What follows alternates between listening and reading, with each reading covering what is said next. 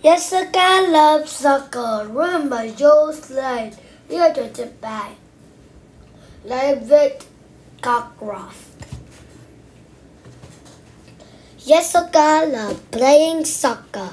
She often played with her older twin brothers, Jason and Jamal.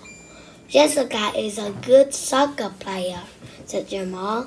Yes, for Pipsqueak, asked Jamal. The twins played for the under 10s neighborhood soccer team. They were called the Red Dragon. The team had reached the final of the city soccer championship. They would be playing with sharks. They would be playing the sharks.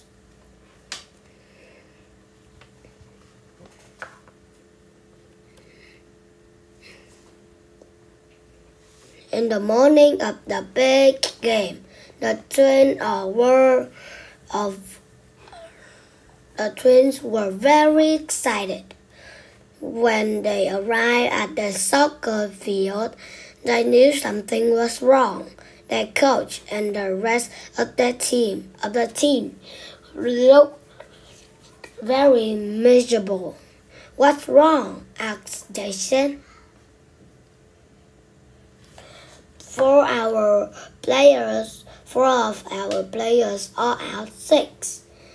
Sick, said coach. We only have ten players. The rules said say we must have eleven players.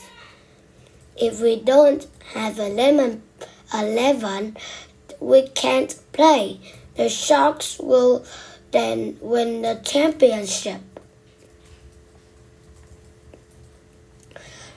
We thought of everything, said Becca, the team captain. Then nobody understands that can play for us. I'll play for you, said a little voice.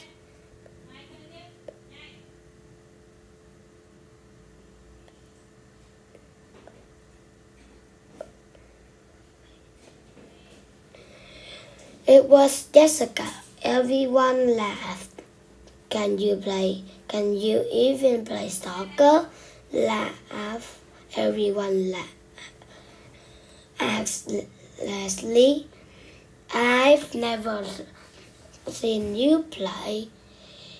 She's so small, said Dan, but she's a good player, said Jason. For Biscuit, said Jamal.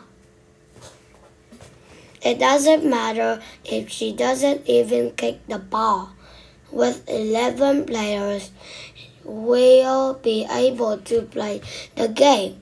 Everyone, welcome to Red Dragons, said Coach. Jessica beamed a huge smile. The coach told Jessica not to move or kick the ball. She was only there to make up the numbers. She knew that was unfair.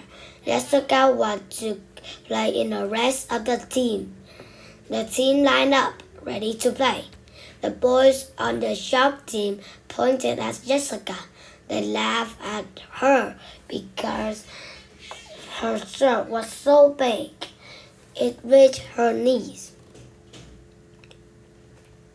The Sharks were a very good team. After only five minutes of play, they scored a goal. The Dragon was missing some of the best players. At halftime, the goal was Sharks 2, Dragons 1. Jessica had not touched the ball.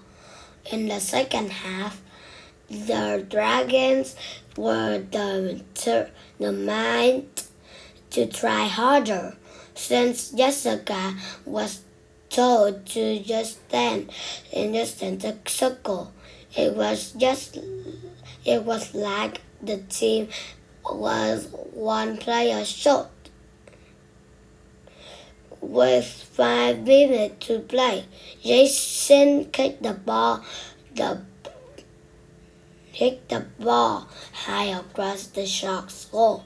Jamal jumped as high as he could. He hit the ball hard with his forehead.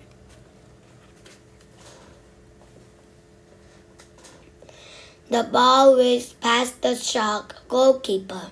Jamal scored a spectacular goal to make the score Sharks 2, Dragons 2.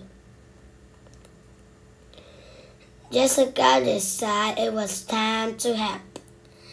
She left the center circle. The Sharks didn't notice her moving toward the goal. Even her teammates didn't notice her. It was as if she were invisible. One of the sharks kicked the ball back to his goalkeeper. Jessica ran to the ball and reached it before the goalie.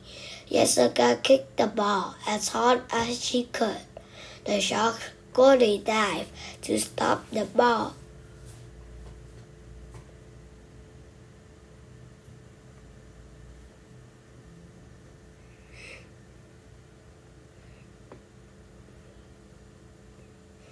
Jessica kick was too powerful.